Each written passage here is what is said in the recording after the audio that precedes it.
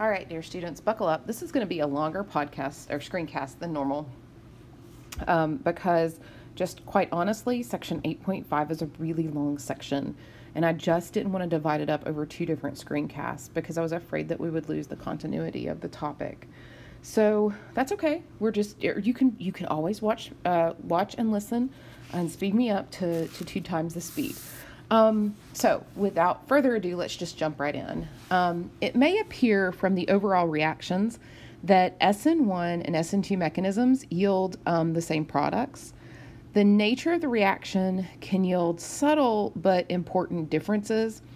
And one possible, possible difference in the reaction products is their stereochemical configurations.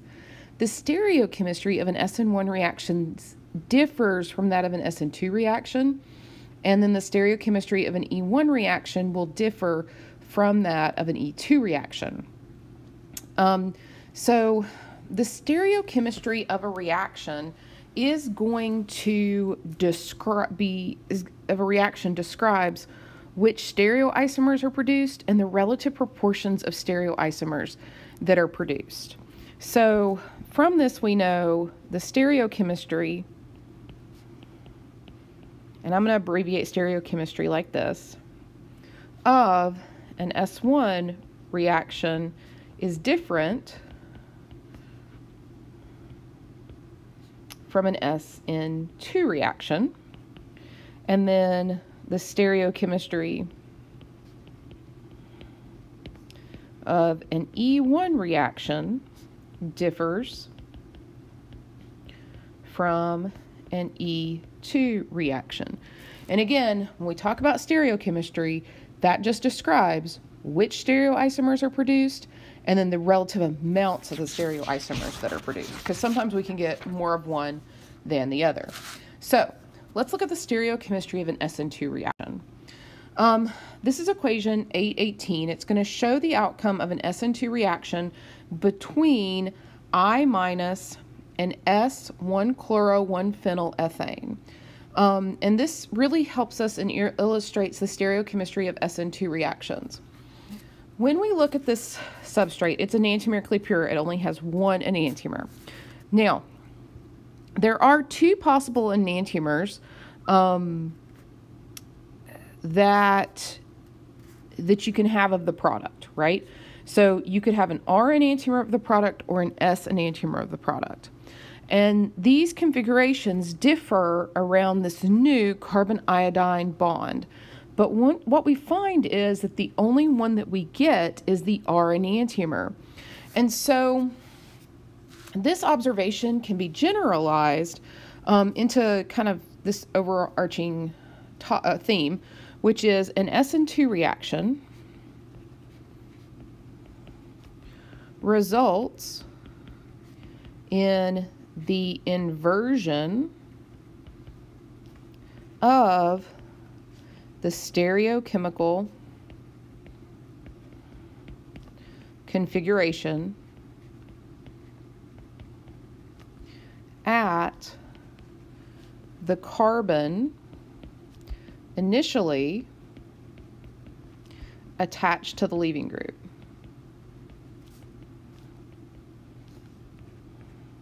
Okay? And I'm going to uh, abbreviate leaving group as LG there. So when we talk about um, what we're really saying here is look, if you have something that's enantiomerically pure and you've got a chiral center here, it goes through an SN2 reaction at the chiral center and a new chiral center forms, it's going to have the opposite stereochemistry. Um, now, the precise stereoisomers that are produced depend on the exact stereoisomer that reacts. Um, and so then what we can say is that an SN2 reaction is stereospecific.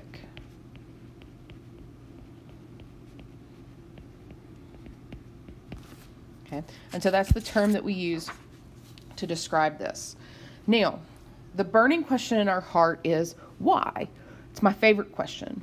Why should SN2 reactions be stereospecific in this way? Well, in an SN2 reaction, the nucleophile attacks the substrate exclusively from the side opposite the leaving group. So when this guy comes in, it's going to attack. He's going to attack on the opposite side. This is called a backside attack. Now, so let's put some words to that. Um, the nucleophile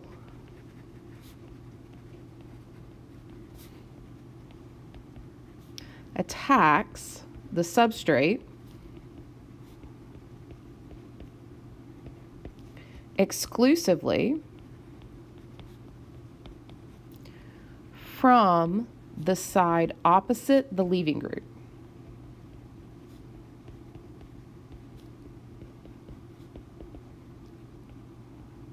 Okay.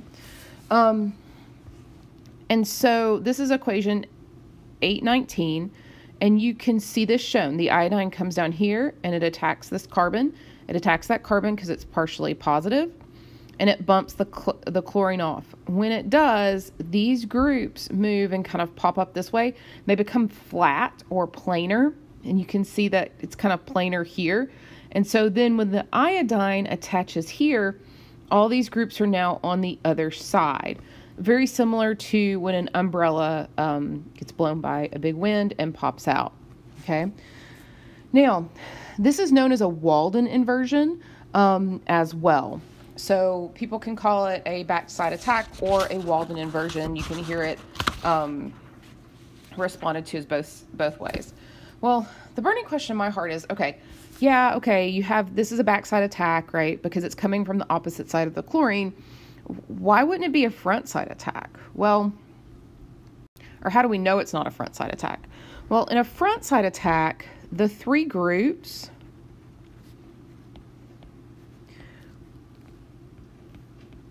would remain on the same side.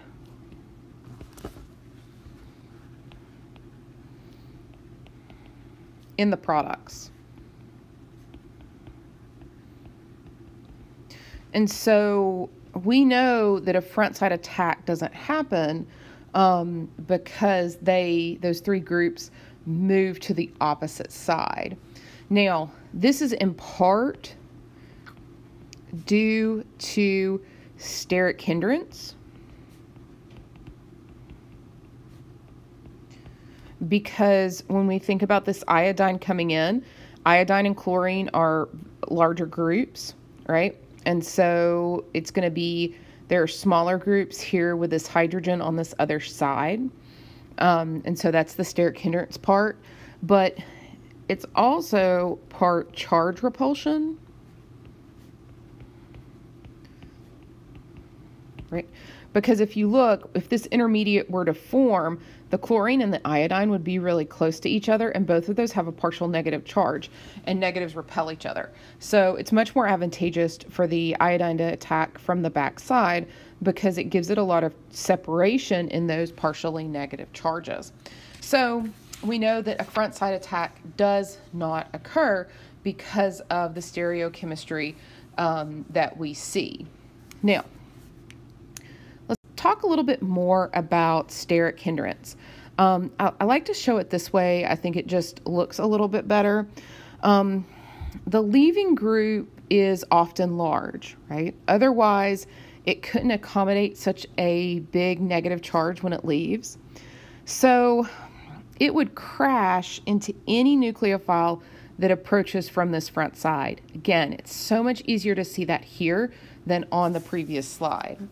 Um, and then, as I mentioned before, we would also see significant charge repulsions um, because the atom of the leaving group bonded to the substrate is really highly electronegative, so it usually bears a significant partial negative charge. Now,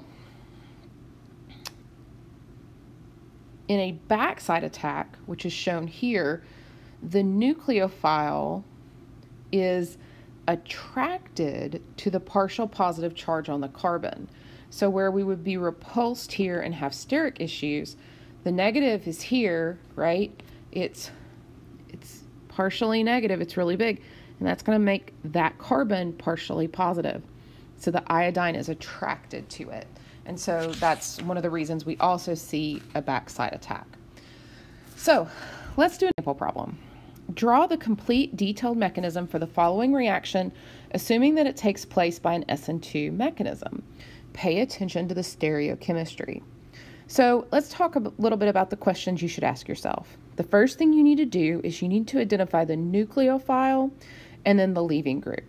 So when we come here and look, um, HS here is carrying a negative charge. So it's very electron rich, and that's going to be our nucleophile. So we know that's going to do the attacking. Then we need to identify what our leaving group's going to be. And to do that, we need to look and see, of course, which which group would leave. Any of your halogens are going to be a huge flag as a leaving group because they're the weak base of a strong acid, so they're going to be very stable. So bromine there is our leaving group. It's a large atom. It can accommodate that negative charge when it leaves for the substrate. The next thing you need to ask yourself are how many steps make up an SN2 mechanism? Um, an SN2 mechanism is, is, in, is in one elementary step, right? And then we need to think about our curved arrow notation as well as how the nucleophile approaches the substrate and how that affects the stereochemistry. So when we come down here to draw the mechanism, there's the BR, there's the H. Now, this CH3 here it does have stereochemistry, so there are two stereochemical centers here, but this is the only one that's attacked. So this is the only one that's going to change. So when these electrons come down and attack that bromine, it's going to bump that bromine off and those electrons are going to go up there. That is a one step mechanism. Those are the curved arrows. Now, we need to follow our curved arrows to draw the products. When we look at this, this curved arrow shows us the new bond that's formed. So, that would be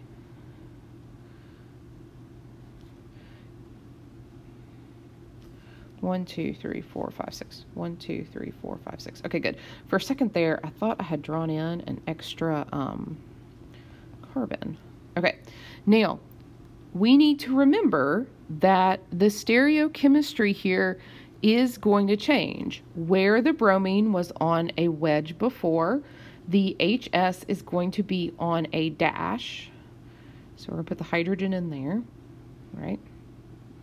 And it attacks through the sulfur, and that sulfur keeps the hydrogen there. And then we have some electrons that are shown there. Then we also have to draw our leaving group, which is bromine minus. So there's our leaving group. Um, obviously, we'll practice this more in class, but you do want to practice drawing these um, because I think that just helps us with mechanisms.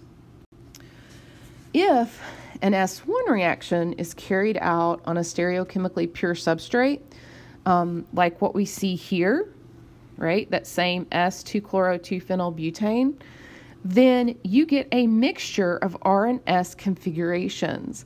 So unlike an SN2 reaction, SN1 reactions are not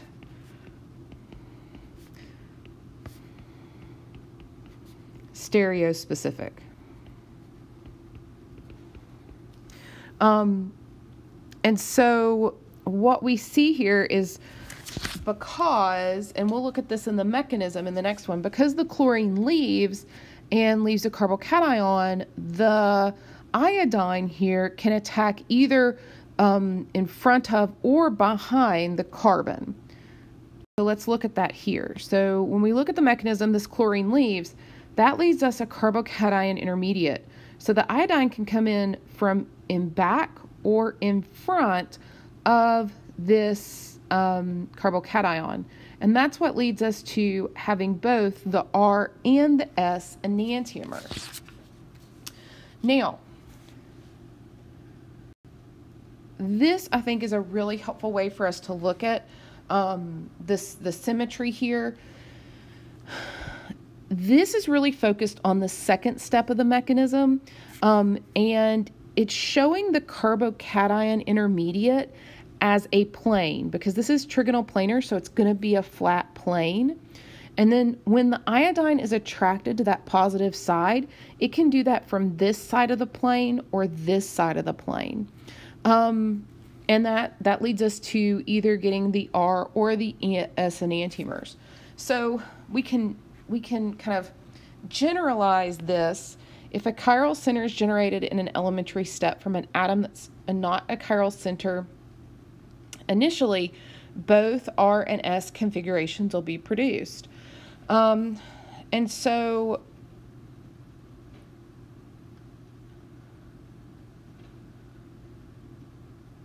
they will, let me think about what I want to say next.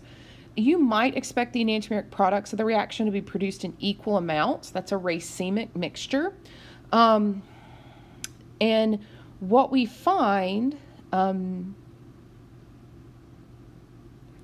is that this is the case, and so it kind of follows this general rule that if a new chiral center is produced in an elementary step, then the R and S configurations of the chiral centers are produced in equal amounts. And when they're produced in equal amounts, we call that a racemic mixture. If the reactants and the environment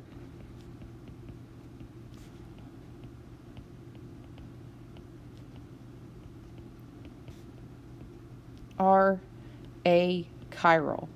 And so that's what we see here, right? There's, uh, this is achiral, okay? Um, we find that we get unequal amounts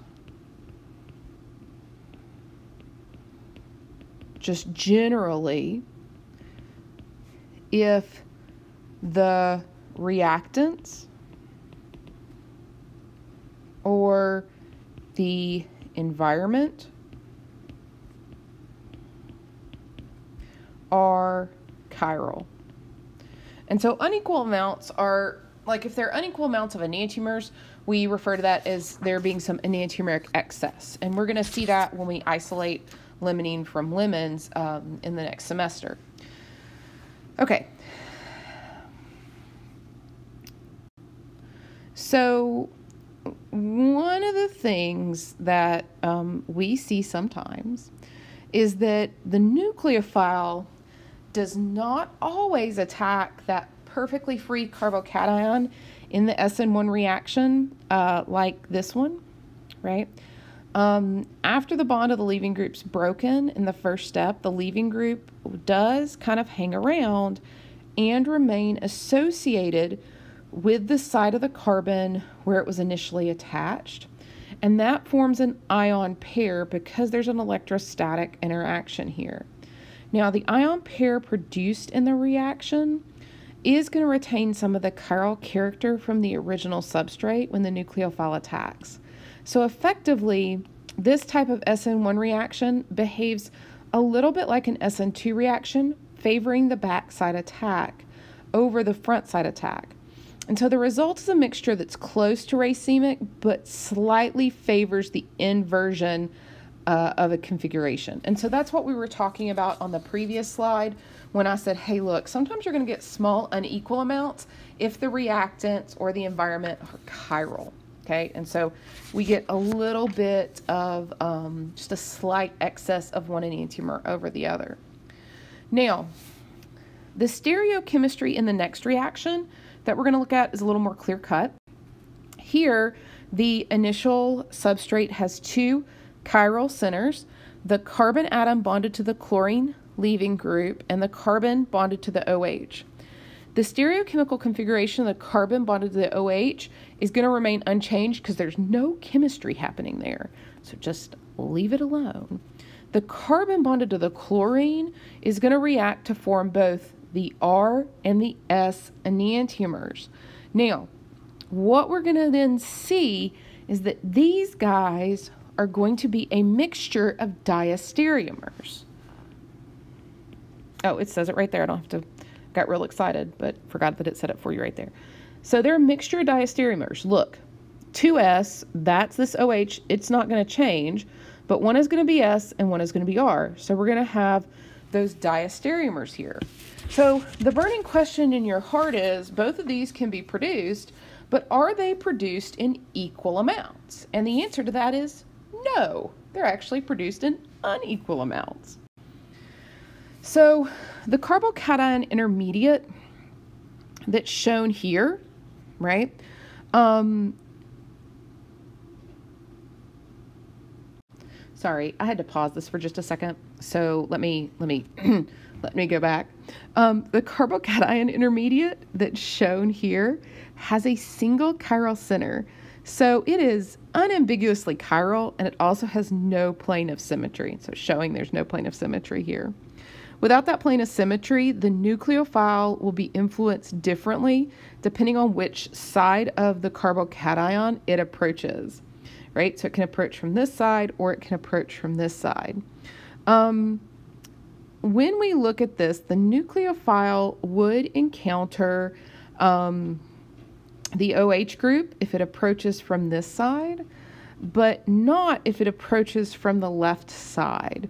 Um, so the likelihood of each approach would be unequal, right? And so the diastereomeric products would be um, formed in unequal amounts, right? So there's going to be a little bit more repulsion here because this is a bigger group. Uh, there's a partial negative charge. Um, here, the iodine's not going to encounter the OH, so there's not as much repulsion and there's not as much steric hindrance. So you would probably get more of this one. Now, your book does say, verbatim, you may be tempted to try to predict which diastereomers produced in greater abundance. We caution against it.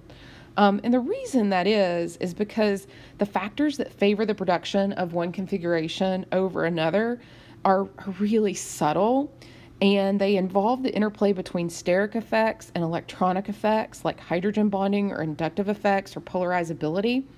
And so it's it's really outside the scope of the course. You may get to an advanced organic class you talk about that a little bit more in depth eventually like in graduate school, but we are not to we're not to look at that. So we're to limit all of these discussions to reactions that are very very very straightforward, like this one. It's very straightforward.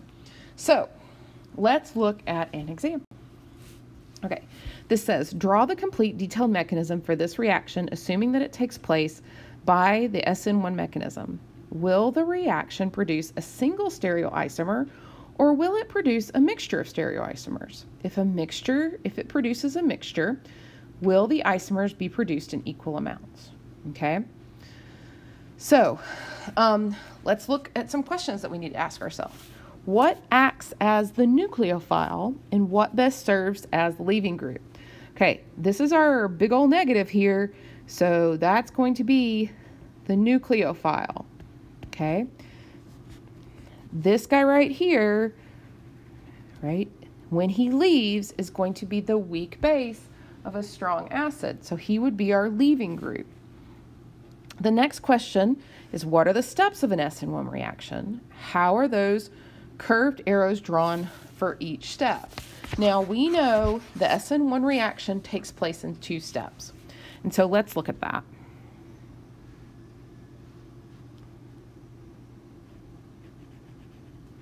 So here's the BR. There's a CH3 right there. And there's an OCH3 right here. And the very first step is it's just the leaving group is going to leave. That's that first step. And when it does that, it's going to form a carbocation that's planar. Now, at this step, we haven't talked about it yet, but I want it to be in your notes. You need to check for a carbocation rearrangement. Now, we're not going to have a carbocation rearrangement in this one because this is tertiary, and the only time you would have a rearrangement if you're going from something less stable to more stable. And we know that a tertiary carbocation is already very, very, very stable. if the we were to have a shift, then we would end up with a secondary carbocation, which is not as stable. Now, let's have the I iodine is going to approach. Okay. And it's going to attack. And I wish I had it approach from the other side because it just makes it easier for you to see. It's going to attack that carbon. Now, when it attacks that carbon, what we're going to find is that we are going to get two diastereomers here. One, two, three, four, five. I left out the OCH3 right there, so don't don't be me, put that in. Um, and so what we're going to see here is you're going to have an iodine here, all right, And then you're going to have an OCH3 here. And then you're also going to have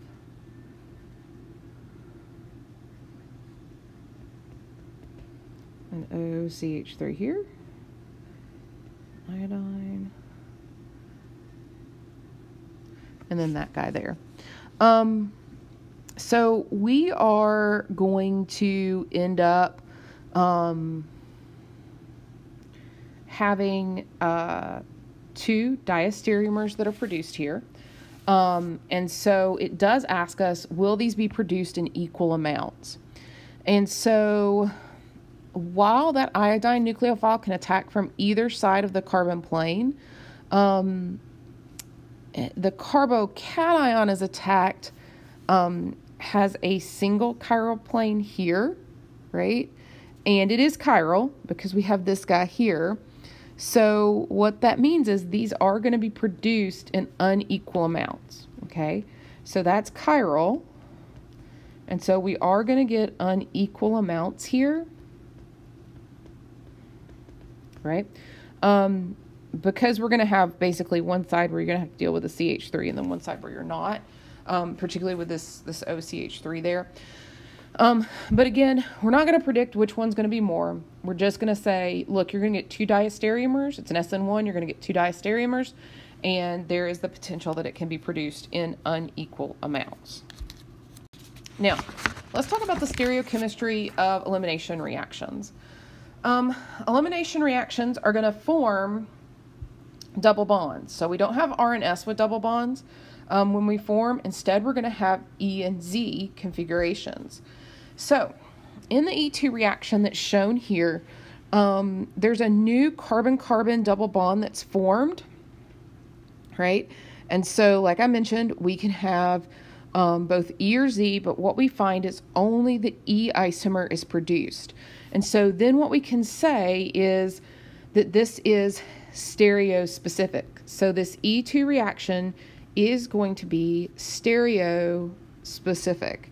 Um, and so basically we have this general rule that E2 reactions are favored by the substrate conformation where the leaving group and the hydrogen atom that are eliminated are anti to each other. So um, when we look at this, um, it's easier to see it sometimes um, in a, a, different conformation. So let's let's look at it this way. Look at some Newman conformations here. Um, this rule is important for the reaction that we we see um, because the carbon atoms to which the hydrogen and bromine are attached are connected by a carbon-carbon single bond that rotates rapidly. So basically, we have this carbon-carbon single bond, and it's just rotating super rapidly, right? And so we get those rotations, which we can see in the configurations here. And so we get anti and gauche, um, and then of course another gauche rotation here. Um, and those are the three stable conformations that are staggered, right? So these, we're showing the three most stable, okay? Um, one of those conformations has the hydrogen and bromine anti to each other. That means they are on completely opposite sides. That's anti, hydrogen and bromine. Um, and so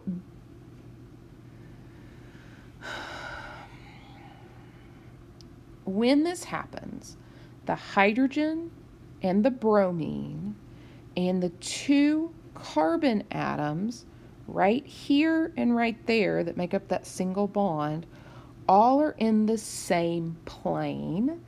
And so, because they're all in the same plane, they are called anticoplanar um, or anti-periplanar. Now, these other two are gauche to each other, and so they they are not the the hydrogen and the bromine that are not going to be in the same plane.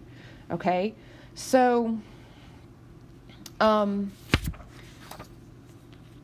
when these guys are in the same plane or that anticoplanar conformation, the stereoisomer formed is determined by the location of the other substituents on the carbon atoms of the substrate. Okay, so it's determined by where those other substituents are. Okay, so when the hydrogen and bromine are on opposite sides, and we're showing that here in this way, these guys are anti each other, then all of these things here are in the same plane. Okay, now, so let's look at this with our fancy planar kind of imagery here. They're all in the same plane, which is represented by this kind of tan plane where hydrogen is lined up with this plane, carbon, carbon, and bromine, right? And then the things that are sticking out that aren't in the plane are the hydrogen, the C6H5 group, the CH3, and the C6H5 group here. Um, now, notice that the hydrogen and the C6H5 group are together on one side of the plane, and then that means they are going to be together, right, on the double bond. Okay. And then the CH3 and C6H5 are together on the other side of the plane, and so they're together on the same side of the double bond. So an E2 reaction is favored when the substrate is in the anti coplanar conformation. So we can we can see that there. Now, once you see this, then you have to decide is this E or Z? It's not always going to form E and it's not always going to form Z. It depends on where your substrates are. So, why is the E2 reaction favored um, by the anti-coplanar orientation of the substrate? Okay, that should be the main question in your heart is why. Well, one contribution comes from the electrostatic interactions and repulsions between the base and the substrate. Um, when the hydrogen and the leaving group are anti to each other, the negatively charged base is attracted to the positive, partial positive on the substrate. However, if the hydrogen and the leaving group are on the same side of the substrate, then the attacking base is going to undergo a lot of charge repulsion from the partial negative charge on the leaving group. So there's some charge repulsion that happens here. Now, um, I want you to notice that the example that we looked at just had uh, one hydrogen. And so maybe the burning question in your heart is, hey, Dr. Pierce, what if you have two hydrogens on that carbon? Well, I'm so glad you asked. Um, if you have two hydrogens um, on the same carbon atom that can be eliminated, as shown here, then you get a mixture of diastereomers. So you get both the E and the Z formed. Um, now I want you to notice the E isomer is favored over the Z isomer, um, basically because of steric strain. Um, right? So this, there's more repulsions here. There's more steric interactions. These big groups are on opposite sides, so that just means the E is the major product. Um, so we can kind of in generally say if an E2 reaction produces a mixture of E and Z diastereomers, the diastereomer that is favored will be the one produced with the more stable anti-coplanar conformation.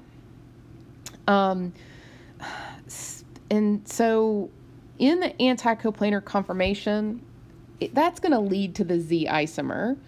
Um, the two bulky groups that are gauche to each other. However, in the anti-coplanar conformation that gives us the E isomer, those CH groups, CH3 groups are anti to each other. So that's when we say the anti-conformation that leads to the E isomer is lower in energy and more abundant.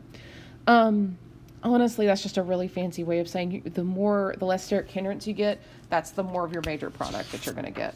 So this has more steric hindrance, this one doesn't. These are anti-coplanar from each other. Okay. Now, we always um, like to look at different different ways to look at things. So these are two different um, anticoplanar conformers where the different hydrogens here, ooh, I thought I was pointing, I was not, the different hydrogens here and here are um, anti to the bromine atom. And these conformers are related by rotation again around that carbon-carbon single bond. Now, one of them is going to lead to the E configuration, whereas the other is going to lead to the Z configuration. Um, and so you can see that this is why we are going to get both of these being formed is because when you have two hydrogens on here, the rotation is so rapid that either hydrogen is going to pop up and be in that coplanar plane where we're going to see this reaction occur. So, uh, so again, if you just have one hydrogen, you're just going to get one enantiomer. If you got two or more, you can, um, I said one enantiomer, I meant one isomer. If you have two or more hydrogens, you are then going to get a mixture of the diastereomers, right? Now, let's look at E1 reactions. Okay. Um, when an E1 reaction produces a new double bond, um, the stereochemistry is an issue if both the E and Z configurations around the double bond exist, right? And so we can get an E and Z configuration here. Um, an E1 reaction is going to produce a mixture of these, right? And so you're going to get a mixture. You're not going to produce one over the other. Um, you're just going to produce both. You may get major and minor products, again, because of some steric hindrance. That should be no, no surprise that this is the major product because we have these two big groups and there's a lot of steric hindrance right here. So, um, to understand why both stereoisomers are produced, we turn um, and look at the mechanism. So, the carbon carbon bond in the product forms when the base um, is going to come in and pull off the proton from this carbon carbon uh, hydrogen um, here. Now, what happens is that's a single bond, so it's going to rotate rapidly and it's going to establish an equilibrium between just a variety of conformers. And unlike what we saw for the E2 reaction, there's no attached leaving group that places restrictions on when the base can attack. So each time the base attacks, as that single bond is rotating all around, remember these reactions are just going on. So um, we're rotating around and the base is going to attack, and then we can rotate around this way and the base is going to attack. Um, either the E or the Z isomer can be produced um, depending on what that conformation tends to be. Now, again, the E isomer is favored over the Z isomer because of steric strain. And so um, those phenyl rings, again, are very, very bulky. So you have um, made it to the end of stereochemistry through SN2, SN1, E2, and E1 reactions. Um, what we will talk about in the next screencast is the reasonableness of a mechanism um, with proton transfers, and then we're going to kind of hone in on that carbocation rearrangement just a little bit more.